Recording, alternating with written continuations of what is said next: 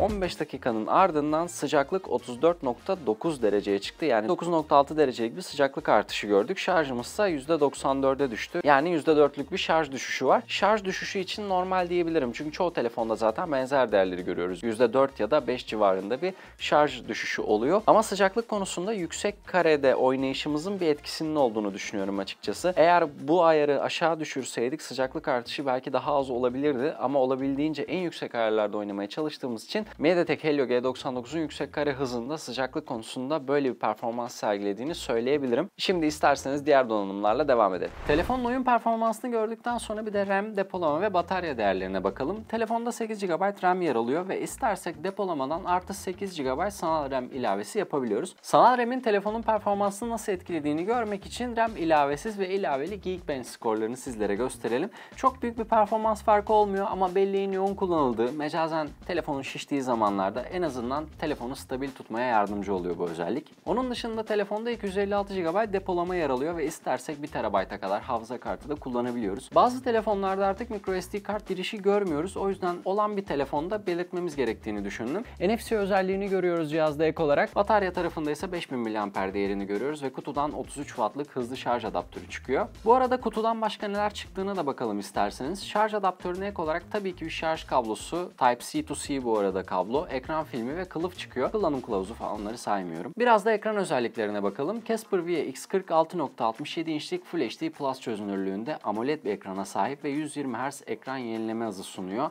Bunu istersek ayarlardan 90 veya 60 Hz olarak da ayarlayabiliyoruz ama adaptif yenileme özelliği bulunmuyor. O yüzden güç tasarrufu yapmak istediğimiz zamanlarda manuel olarak ekran yenileme hızını düşürmekte fayda var. 120 Hz'ın akıcı bir şekilde çalıştığını söyleyebilirim. Telefon tam potansiyelini 120 Hz ile sunuyor gibi hissettirdi bana. Peak'te 1500 nit parlaklık sunuyor bize ekran. Onun dışında çözünürlük ve yenileme hızı açısından ekran bence segmentine göre iyi, akıcı bir performans sunuyor. Yani dizi film izlerken ya da az önce de gördüğünüz gibi oyun oynarken AMOLED panelin kalitesini bize sunuyor telefon. Bu fiyat bandındaki telefonlara bakarken beklenti daha çok cihazların donanım yeterliliği oluyor ve tasarım ikinci plana atılabiliyor. O yüzden videoya donanımla başladım ama tasarımına da bir göz atmamız gerekiyor tabii ki.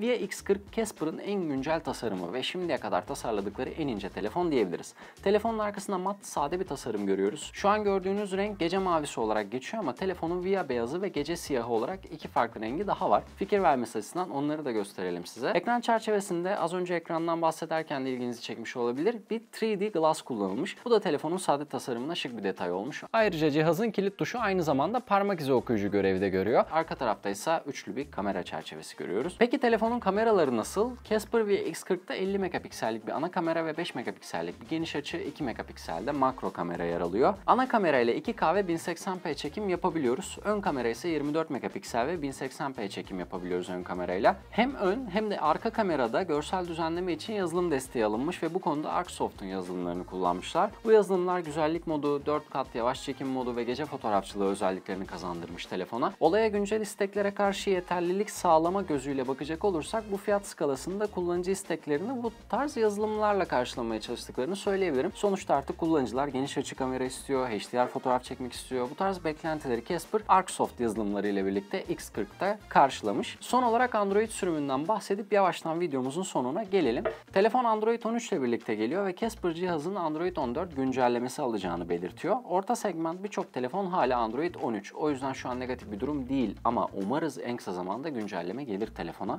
Evet dostlar bu videomuzda Casper'ın en yeni üyesi Via X40'ı misafir ettik. Özetle Mediatek Helio G99 işlemci, 120 Hz ekran yenileme hızı, 8 GB artı 8 GB sanal RAM ve 3D Glass gibi tasarım özelliklerine sahip bir telefon. Şu an kendisini 12.999 TL'ye bulabiliyoruz. Casper Via X40 hakkında detaylı bilgiye ulaşmak ve online sipariş verebilmek için ürün linkini açıklama kısmına bırakıyorum. Sizler cihaz hakkında ne düşünüyorsunuz? Sizce bu fiyata alınır mı? Lütfen yorumlarda bahsetmeyi unutmayın. Başka bir web tekno videosunda görüşmek üzere dostlar. Hoşçakalın.